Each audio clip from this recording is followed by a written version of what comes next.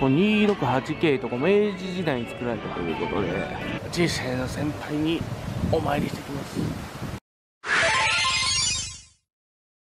恋人がサーヤンドース俺たちのサーヤンドース国立へ連れてって。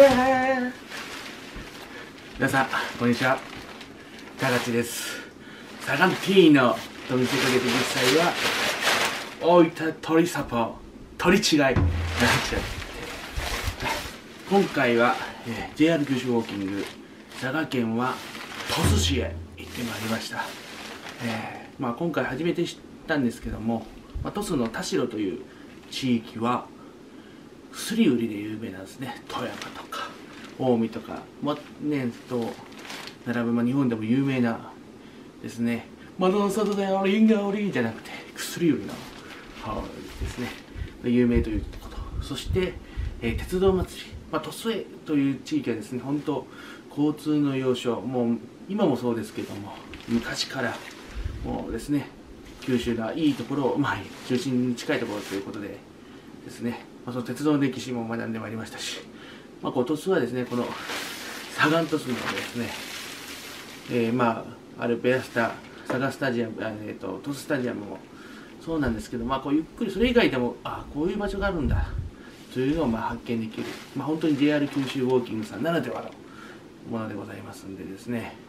さあ今回のお給どうでしたでしょうか？ちなみにちょっとこうくちゃくちゃ申し訳ないですけどサガン鳥栖もそしてこの大分トリニータも今日勝ちました。でねどっちも、ね、ぜひ九州本当またあの鳥栖と大分 J1 で。よろしくお願いします。それでは、えー、鳥栖 JR 九州ウォーキングの模様です、えー前夜の、えー、筑後川温泉そしてその後の、えー小郡のまあ温泉と七夕神社の模様も合わせてお答えします。どうぞ。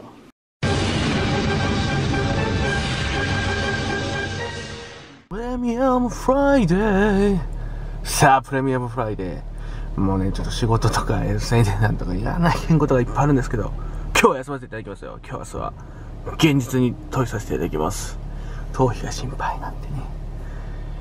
ねもう今ちょっとねめったにないんですけどちょうどもうなんかこの音撮って 撮ってますけど駐車場めったに人がいないのに今日悪い人いて恥ずかしい家撮ってますけど頑張りますよ。待っとけよな。待ってろ福岡佐賀今夜の宿はこちら。福岡県浮橋市の筑後川流儀ホテルですね。父の宿ホテル花景色さんです。いやあのまあちょっと最近は温泉に使いたいというこだわりもありますしそしてまたですね、まあ、僭越ながらこの7月の豪雨でこのですね秋内浮葉の地域もですね甚大な被害を被りましたので、まあ、少しでも復旧になればと思い今回、えー宿泊をさせていただきました。このやっぱ温泉とにかくいいおいの匂いいいおい。よー。なんてね。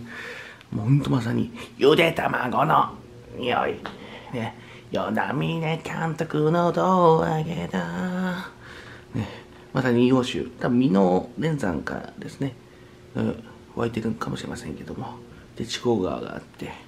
そして感触がこうツルツルとろみがある。のが特徴ですね、まあ、アルカリ性。でラドンラジウム、まあ、放射能線を含んだ、えー硫黄泉。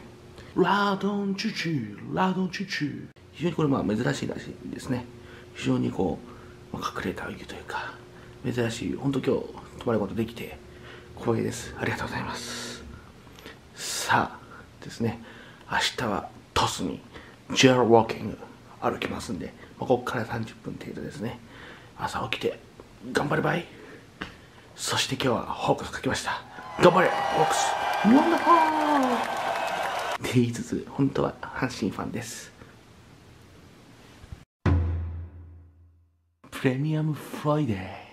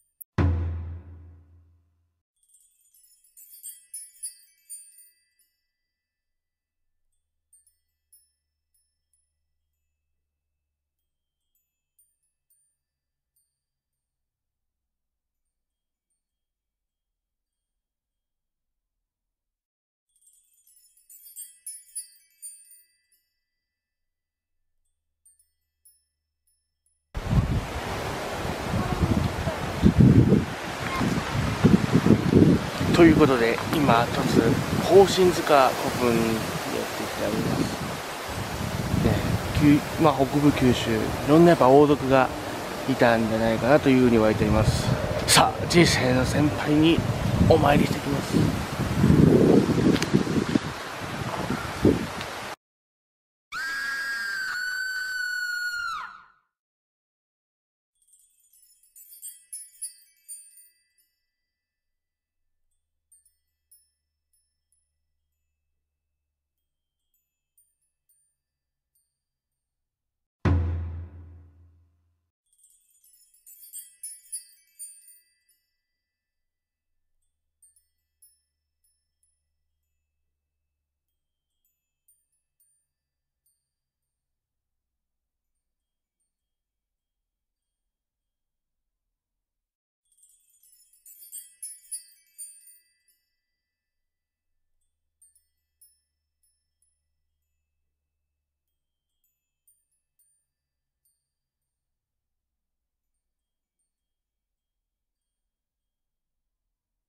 はい、ということで中富薬記念館博物館さんに初めてお邪魔しました。ここ今薬草園なんですけどもね、このまあトスの田代の地が実は日本四大売薬ですね、薬売りの地だというのは今回初めてしました。これやっぱ一つ勉強になりました。いい機会です。本当 JR 九州さんありがとうございます。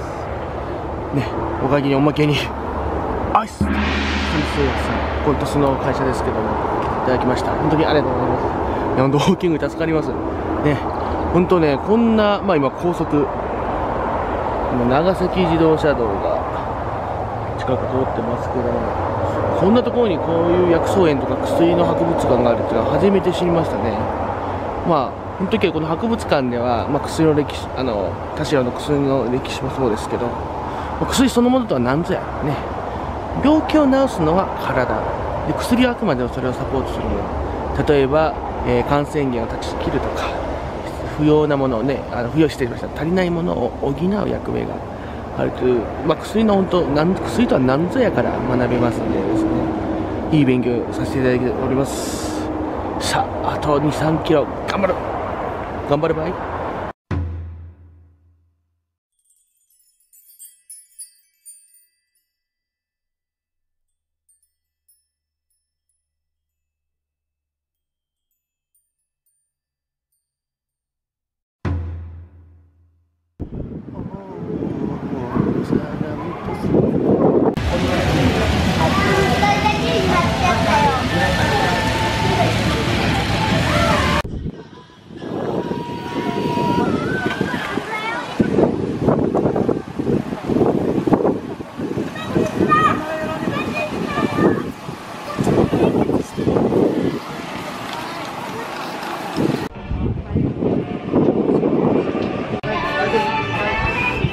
い268系とか明治時代に作られたということで今日は特別一般公開ということでやっぱこの昔から年ってやっぱ交通の要衝だったみたいですね。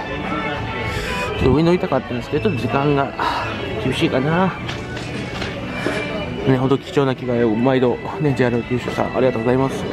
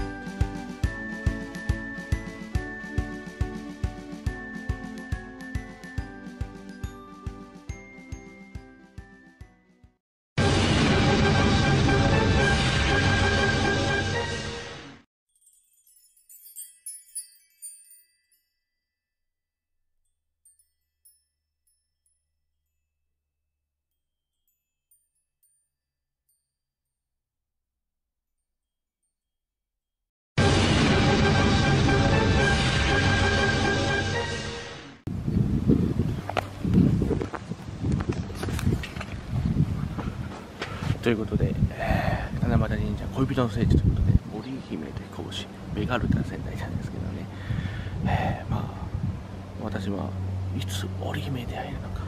てかいやあの織姫はいても私が彦星になりたいとかね。